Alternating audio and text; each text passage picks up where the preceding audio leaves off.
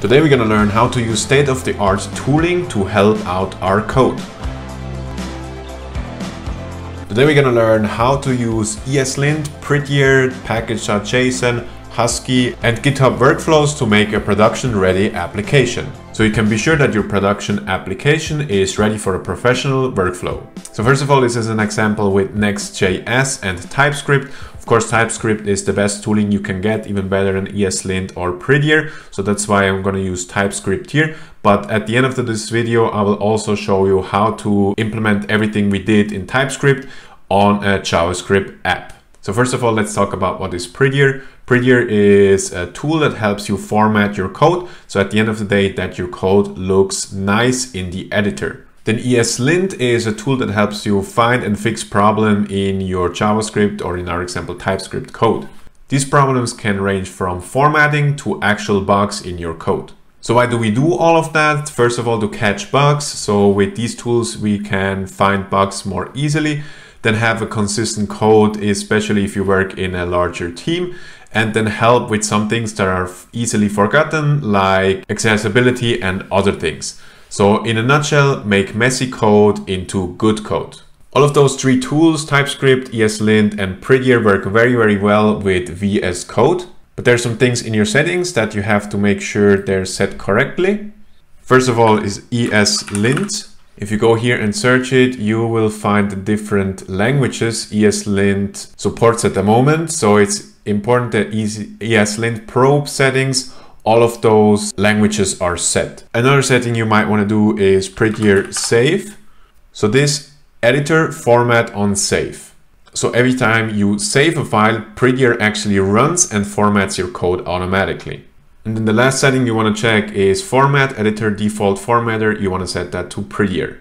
If you have any issues, you can find my settings that I have in my VS Code here in settings.json. There is a link in the description down below where you can find this settings file. So here in my package.json file, I've already set up the different rules and the different scripts here. So let's run them in our simple application and I'm going to explain what they actually do. And afterwards, I'm going to show you how I implemented them. So we can go here to npm run style colon all. And now the script runs and we can see the script has failed. First, we run the TypeScript compiler. Afterwards, we run npm run style lint, which lints our code with ESLint, and then npm run style prettier, which checks our formats of prettier. So we can see here in the index.tsx, we have type string is not assignable to number. So let's fix that. Let's go to index. We can see here the error is in the card component. If you go to the card component, we can change that to string, save that, and now the error is gone. So let's run that script again. We can also run scripts here. So style all, and we can see we have a different error now. Prop spreading is forbidden and data is already declared in the upper scope. So one is in pages underscore app and the other one in index. So we can easily fix those. We can go here and rename that. I usually do F2, so we can rename it here. Let's say item. So that's fixed. And that's an ESLint fix. How you can find that out is if you hover here, you can see ESLint. So you know where this rule is coming from. And you can also see the exact rule. So if you click here, the documentation page shows up and you can read what exactly the rule is. The same thing before, if we backtrack a little um, and implement that error again, you can see that this error comes from TypeScript and not ESLint. So let's reverse that again. Now that should be good. Let's rename that F2 item. That's fixed. And then let's go to app.js. We can see there is also uh, ESLint error. This time I want to allow this ESLint error to happen. So what we can do is go here to quick fix and disable for this line or disable for the entire file. So I disable it for the entire file and we can see the error is gone. So we can go to style all again Let's see if it now has no errors. And we can see it fails again. Why does it fail? It says code styles issue found in the above files. So in pages underscore document, did I forget to run prettier? So if you go here to document, we can see the style here is a little bit off.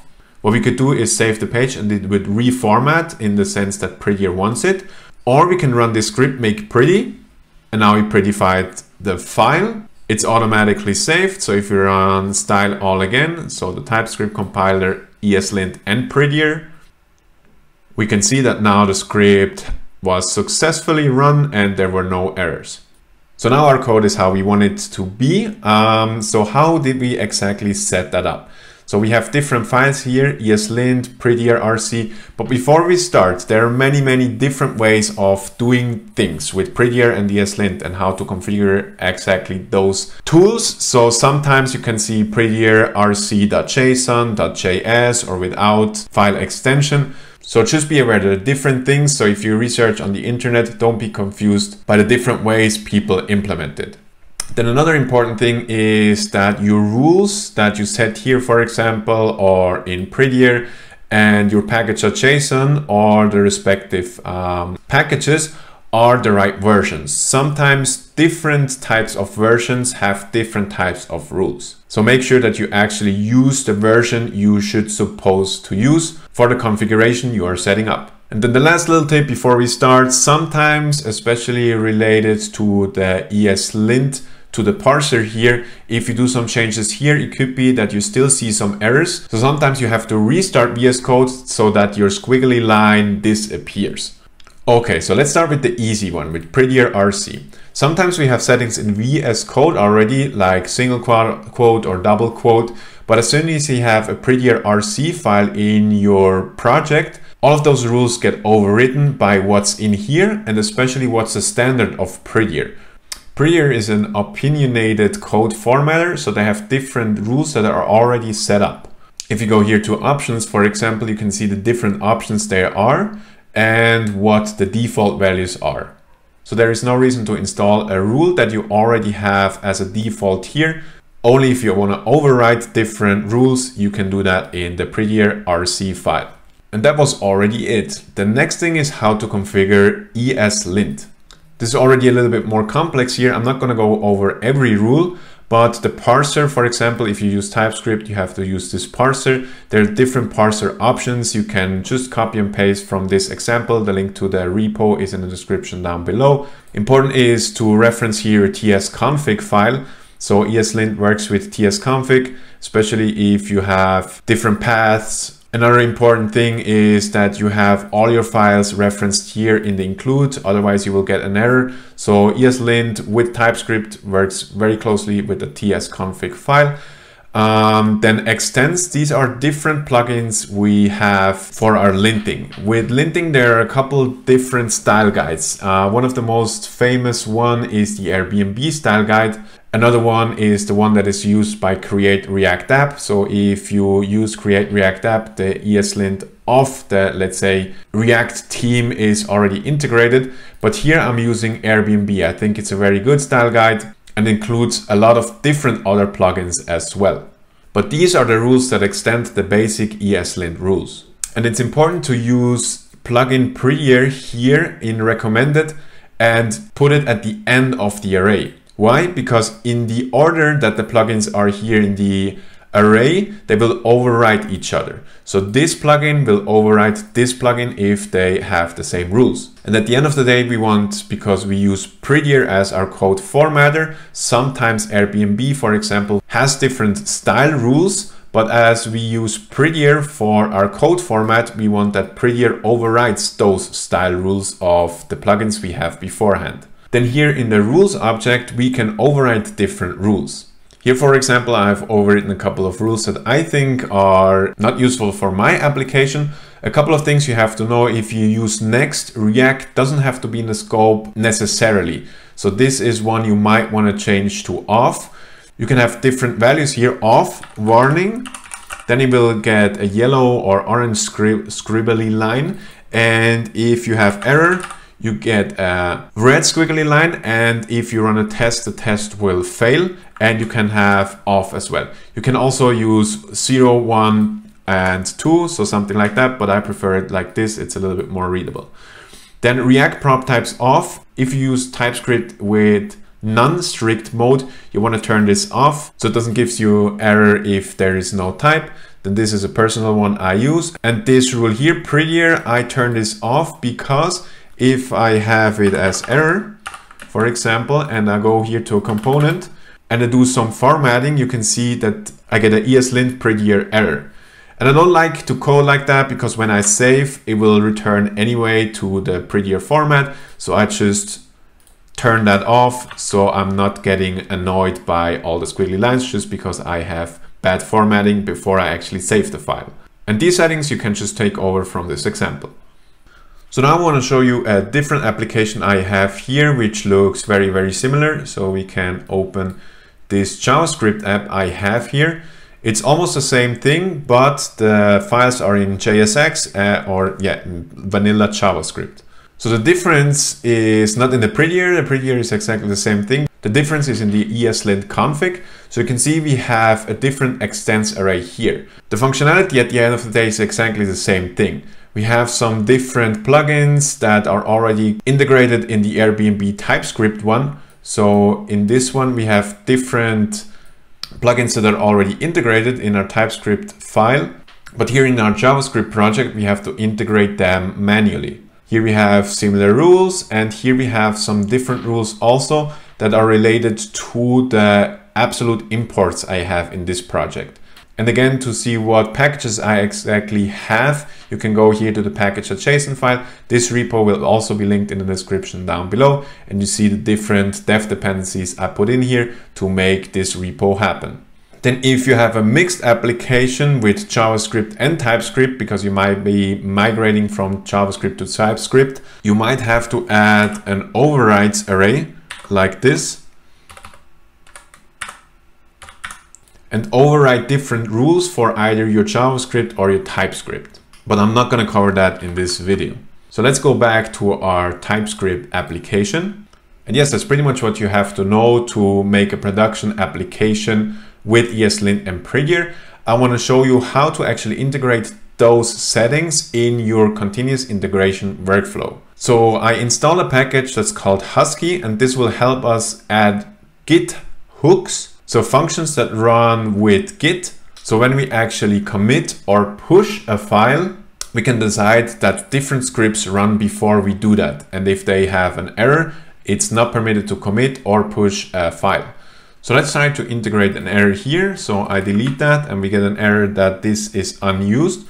So I go here and commit. So we can also do commits here, not just in the terminal. So let's do that and it should give us an error. But we see we don't get an error here. So why? We have to go to package.json and actually uh, run prepare. This, by the way, is new if you use Husky. So if you use Husky version 6 before in the version 4, at least I know it in the version 4, you didn't have to do that. But now with the new Husky, you have to do that. So if you go here and run npm run prepare, the hooks are installed and now if we try to let's rename that so we can commit another change in it too. Now we see we get an error. You can show the command output and we see card props is defined but never used. So it doesn't let us commit if we have a linting error. How did i set that up? If you have a folder here that .husky you can add different hooks. So for, for example, this was the pre-commit. And again, you can find this code in the description down below, but I run npm run style lint. So just the linting, not all. So non-prettier and non-TypeScript compiler.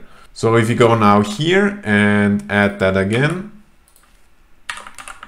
we should be able to commit the changes. So now the now the test runs and it should be, yes, now it's good.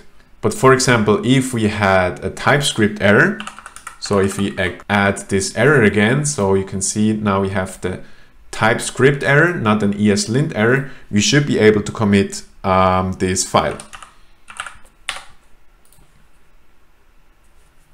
So because we just said style lint here, it did let us commit. But here in pre-push, we have run all.